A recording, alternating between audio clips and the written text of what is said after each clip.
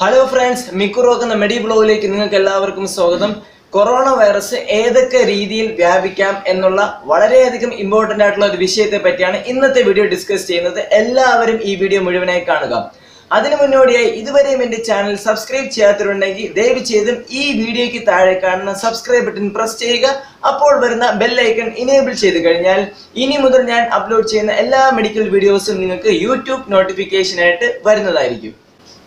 Corona virus എങ്ങനെയാണ് ബാധിക്കുന്നത് എന്നുള്ളത് നമുക്ക് എല്ലാവർക്കും അറിയാം. നമ്മൾ ചുമയ്ക്കുമ്പോഴോ തുമ്മുമ്പോഴോ അതുപോലെ തന്നെ സംസാരിക്കുമ്പോഴോ നമ്മുടെ വായിൽ നിന്നും തെറിക്കുന്ന ജലഗണങ്ങൾ അതായത് സ്രവങ്ങൾ അന്തരീക്ഷത്തിൽ സ്പ്രെഡ് ചെയ്യുന്നതിന്റെ ഫലമായി മറ്റുള്ള വ്യക്തി ശ്വസിക്കുന്നതിന്റെ ഫലമായി ആ വ്യക്തിക്ക് ഈ രോഗവ്യാപനം കിട്ടുന്നു. അതിന്റെ ഫലമായിട്ടാണ് ഈ കൊറോണ വൈറസ് സ്പ്രെഡ് ചെയ്യുന്നത്. അപ്പോൾ ഏതൊക്കെ രീതിയിലാണ് കൊറോണ വൈറസ് സ്പ്രെഡ് ചെയ്യുന്നത് എന്നുള്ളത് നമുക്ക് നോക്കാം.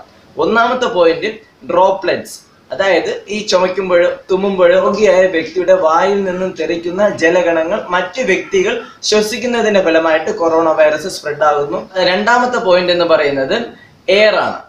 അതായത് നമ്മൾ ഇങ്ങനെ ചുമയ്ക്കുമ്പോഴോ തുമ്മുമ്പോഴോ ഈ അന്തരീക്ഷത്തിലെ ഈ കൊറോണ വൈറസ് അടങ്ങിയിട്ടുള്ള ഈ ജലഗണങ്ങൾ സ്പ്രെഡ് ചെയ്യാനുള്ള സാധ്യതകൾ കൂടുതലുണ്ട്. ലോകാരോഗ്യ സംഘടനയുടെ ലേറ്റസ്റ്റ് ആയിട്ടുള്ള പഠന പ്രകാരം പത്ത് മുതൽ പതിനഞ്ച് മിനിറ്റ് വരെ ഈ കൊറോണ വൈറസ് അടങ്ങിയിട്ടുള്ള ഈ ജലഗണങ്ങൾ അന്തരീക്ഷത്തിൽ വായുവിൽ തങ്ങി നിൽക്കാനുള്ള സാധ്യതകളുണ്ട്. അതുകൊണ്ട് നിങ്ങൾ എല്ലാവരും കമ്പൽസറി ആയിട്ട് മാസ്ക് ധരിച്ചിരിക്കേണ്ടതാണ്.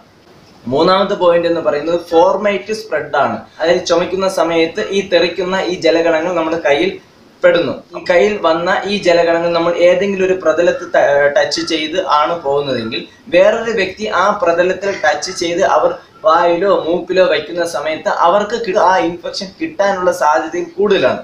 അപ്പോൾ അതാണ് ഈ ഫോർമേറ്റ് സ്പ്രെഡിന്റെ അകത്ത് വരുന്നത്.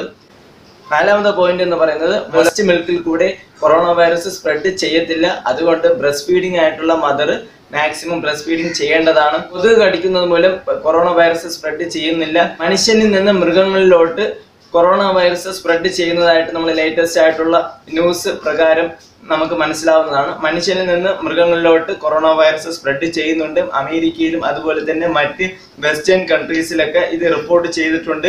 അതുപോലെ തന്നെ മറ്റ് മൃഗങ്ങളിൽ നിന്നും മനുഷ്യനിലോട്ട് ഇതുവരെയും റിപ്പോർട്ട് ചെയ്തിട്ടില്ല. അതുപോലെ തന്നെ ലാസ്റ്റ് പോയിന്റ് എന്ന് പറയുന്നത് വെന്റിലേഷൻ ഉള്ള മുറികളിൽ മാക്സിമം കൊറോണ വൈറസ് ബാധിച്ച വ്യക്തികൾ താമസിക്കേണ്ടതാണ്. കാരണം എന്ന് പറയുന്നത് വെന്റിലേഷൻ ഇല്ലാത്ത മുറികളാണെങ്കിൽ ഈ അവർ ശ്വസിക്കുന്ന വായുവിൽ തന്നെ ഈ കൊറോണ വൈറസ് ഉള്ള ആ ഒരു ഡ്രോപ്ലെറ്റ്സ് വായുവിൽ തങ്ങി നിൽക്കാനുള്ള സാധ്യതകൾ വളരെയധികം കൂടുതലാണ്. അതുകൊണ്ട് നിങ്ങൾ മാക്സിമം താമസിക്കുമ്പോൾ വെന്റിലേഷൻ ഉള്ള മുറികളിൽ താമസിക്കേണ്ടത് വളരെയധികം അത്യന്താപേക്ഷിതമാണ്. അതോടൊപ്പം തന്നെ ക്വാറന്റൈനിൽ ഇരിക്കുന്ന വ്യക്തികൾ മാക്സിമം വെന്റിലേഷൻ ഉള്ള മുറികളിൽ താമസിക്കേണ്ടത് വളരെയധികം അത്യന്താപേക്ഷിതമാണ്. അതോടൊപ്പം തന്നെ നിങ്ങൾ സർക്കാർ നിർദ്ദേശിക്കുന്ന മാനദണ്ഡങ്ങൾ പാലിക്കേണ്ടതാണ്. അതായത് സ്ട്രിക്റ്റ് ആയിട്ട് മാസ്ക് ധരിക്കുക. ഈ മാസ്ക് ധരിക്കുമ്പോൾ മാക്സിമം നിങ്ങൾ മൂന്ന് ലെയർ ഉള്ള മാസ്ക് ധരിക്കാൻ വേണ്ടി ശ്രദ്ധിക്കുക. ഇത് മൂക്കും വായും താടിയും കവർ ചെയ്യുന്ന ടൈറ്റ് ആയിട്ടുള്ള മാസ്ക് ആണ് ധരിക്കേണ്ടത്. വാൾവുള്ള മാസ്കുകൾ ധരിക്കാൻ പാടില്ല എന്ന് ഇപ്പൊ ലേറ്റസ്റ്റ് ആയിട്ടുള്ള ഒരു സ്റ്റഡി പറയുന്നുണ്ട്. ആരോഗ്യ പ്രവർത്തകരാണ് എൻ നയന്റി ഫൈവ് മാസ്ക് ധരിക്കുന്നത്. നിങ്ങൾ അല്ലാതെ എൻ നയന്റി ഫൈവ് മാസ്ക് ധരിക്കുകയാണെങ്കിൽ വാൾവ് ഇല്ലാത്ത എൻ നയന്റി ഫൈവ് മാസ്ക് ധരിക്കേണ്ടതാണ്. തുണികളുടെ മാസ്ക് ആണെങ്കിൽ നിങ്ങൾ ഡെയിലി സോപ്പ് ആൻഡ് വാട്ടർ വെച്ച് നല്ല രീതിയിൽ വാഷ് ചെയ്ത് വെയിലത്തിട്ട് ഉണക്കിയതിന് ശേഷം മാത്രമേ അത് ഉപയോഗിക്കാൻ പാടുള്ളൂ. അതോടൊപ്പം തന്നെ ഹാൻഡ് സാനിറ്റൈസർ വെച്ച് ഇടയ്ക്കിടയ്ക്ക് കൈകൾ നല്ല രീതിയിൽ കഴുകേണ്ടതാണ്. സോപ്പ് വെച്ചിട്ട് നല്ല രീതിയിൽ ഇടയ്ക്കിടയ്ക്ക് ഇരുപത് സെക്കൻഡ് വരെ ഇടയ്ക്കിടയ്ക്ക് കൈകൾ കഴുകേണ്ടതാണ്. സാമൂഹിക അകലം ഏകദേശം രണ്ട് മീറ്റർ വരെ പാലിക്കേണ്ടതാണ്. അതോടൊപ്പം തന്നെ നിങ്ങൾ ഹെൽത്തി ആയിട്ടുള്ള ഫുഡ് നല്ല രീതിയിൽ കഴിക്കേണ്ടതാണ്. ചൂടുവെള്ളം ഇടയ്ക്കിടയ്ക്ക് കുടിക്കുക. വേറെ എന്തെങ്കിലും ബുദ്ധിമുട്ടുണ്ടെങ്കിൽ നിങ്ങൾ ആരോഗ്യ പ്രവർത്തകരായിട്ടോ കൊറോണ വൈറസിന്റെ ഇൻഫർമേഷൻസ് കൺവേ ചെയ്യുന്ന ഹെൽപ്പ് ഡെസ്കുമായിട്ട് നിങ്ങൾ ബന്ധപ്പെട്ട് വേണ്ട മാർഗനിർദ്ദേശങ്ങൾ നിങ്ങൾ സ്വീകരിക്കേണ്ടതാണ്. അപ്പോൾ ഫ്രണ്ട്സ് കൊറോണ വൈറസ് ഏതൊക്കെ രീതിയിൽ വ്യാപിക്കാം എന്നുള്ള വളരെയധികം ഇമ്പോർട്ടന്റ് ആയിട്ടുള്ള ഒരു വിഷയത്തെ പറ്റിയാണ് ഇന്നത്തെ വീഡിയോയിൽ കൂടി ഞാൻ ഡിസ്കസ് ചെയ്തത്.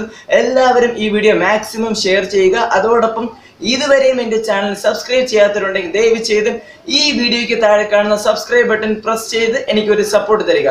അപ്പോൾ നെക്സ്റ്റ് വീഡിയോ കാണുന്നവരിക്കും ഗുഡ് ബൈ